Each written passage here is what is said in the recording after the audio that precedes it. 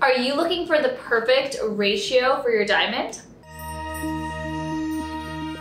Welcome to the Clear Cut Classroom, where we take deep dives into all things diamonds and jewelry. Today we're going to talk about the most popular ratios for each diamond shape. So what is a ratio? This is basically the length to width proportion for each diamond, especially when it comes to elongated shapes. You can calculate the ratio by taking the length in millimeters and dividing it by the width. For each shape, there are different ratios and proportions that are more or less desirable at a given time. For instance, Cushion cuts are usually perfectly square with rounded corners like a pillow cushion. This is usually a 1.0 to 1.1 length to width ratio. But recently, more elongated cushion cuts have become very, very popular. When elongated cushion cuts started becoming more popular, we were looking at between a 1.15 to 1.2 length to width ratio being considered quite elongated.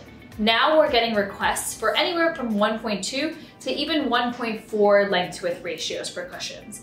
The longer the ratio in the cushion, the rarer it is to find, but I think that's why it appeals to many people. When it comes to ovals, which is a naturally elongated shape, a typical ratio is usually between a 1.3 to 1.4 length to width ratio. 1.3 being a little bit chubbier, more rounded, and 1.4 being a slightly elongated traditional oval shape.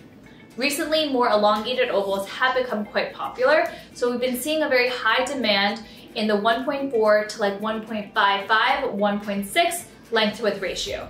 Again, this is all personal preference and there's no right or wrong answer when it comes to finding your perfect ratio. You need to see the diamond on your hand and understand the proportion.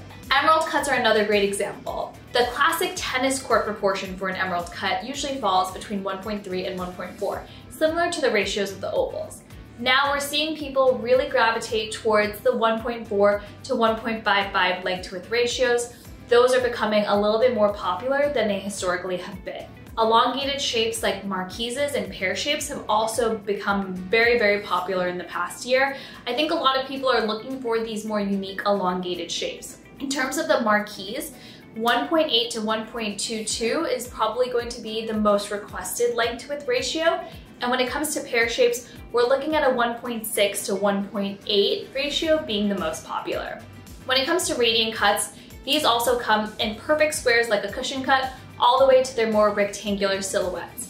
We have been seeing at least a 1.35 to 1.5 length width ratio becoming very popular. If you have any questions on finding the perfect ratio for your dream diamond, let us know, comment below, and class is dismissed.